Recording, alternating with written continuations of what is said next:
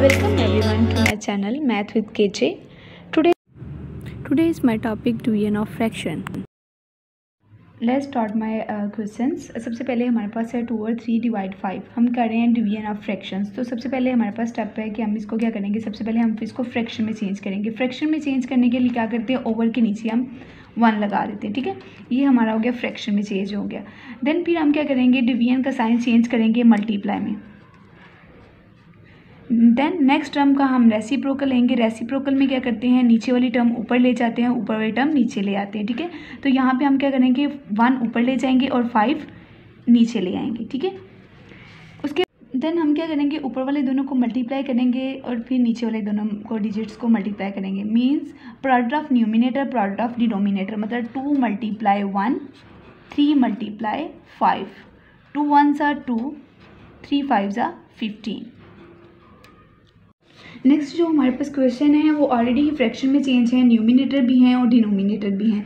तो इसमें हम क्या करेंगे? इसमें हम सिंपली साइन चेंज करेंगे और रेसिप्रोकल लेंगे। डिवीज़न का हमने साइन चेंज किया मल्टीप्लाई में। तो नेक्स्ट हमने नेक्स्ट टर्म का रेसिप्रोकल लेना है। रेसिप्रोकल्स में मैं एक दफ़ा फिर रिपीट कर देती हूँ कि नीचे वाली टर्म को ऊपर ले जाते हैं और ऊपर वाली टर्म को नीचे ले आते हैं। टू ओवर वन फिर हम क्या करेंगे? ऊपर वाले दोनों नंबर्स को मल्टीप्लाई करेंगे। सेवन मल्टीप्लाई टू फिर नीचे दोनों नंबर्स को मल्टीप्लाई करेंगे एट मल्टीप्लाई वन इधर हम क्या करेंगे? सेवन टू ज़ा फोर्टीन क्या करेंगे? सेवन टू ज़ा fourteen eight multiply one is equal eight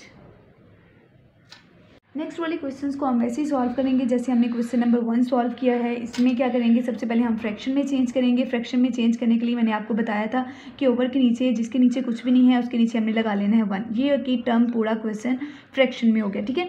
तो फिर हम क्या करेंगे? साइन चेंज करेंगे। हमने अपना साइन चेंज किया, डिवीज़न को मल्टीप्लाई में चेंज कर दिया। नेक्स्ट टर्म का हमने रेसिप्रोकल लिया। रेसिप्रोकल मीन्स नीचे वाली टर्म हम वो ऊपर ले जाते हैं और ऊपर वाली टर्म हम नीचे ले आते हैं, ठीक है?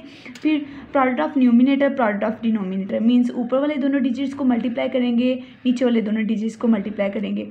Four multiply three is equal twelve one multiply is equal one ठीक है? नेक्स्ट जो हमारे पास जो क्वेश्चन है वो भी इसी तरह से है। हमने, हम क्या करेंगे? सबसे पहले इसको फ्रैक्शन में चेंज करेंगे। ये हमने फ्रैक्शन में चेंज कर दिए देन हम क्या करेंगे? हम साइन चेंज करेंगे, डिवीज़न को मल्टीप्लाई में चेंज करेंगे देन नेक्स्ट टर्म का रेसिप्रोकल लेंगे एट को हम ऊपर ले जाएँगे फाइव को हम नीचे ले आएँगे।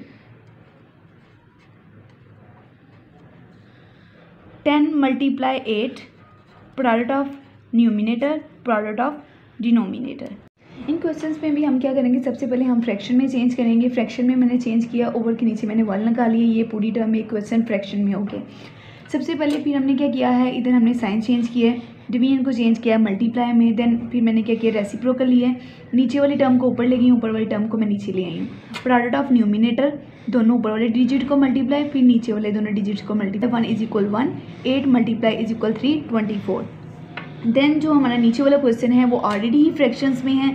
तो उसमें हम क्या करेंगे? सिंपली हम साइन चेंज कर दिए मैंने। फिर मैंने रेसिप्रोकल ले लिया है। रेसिप्रोकल लेने के बाद ऊपर वाली दोनों टर्म्स को मल्टीप्लाई नीचे वाली टर्म्स को multiply multiply four is equal four five multiply three is equal fifteen अगर मेरी वीडियो आपको अच्छी लगी हो तो please subscribe my channel and click the bell icon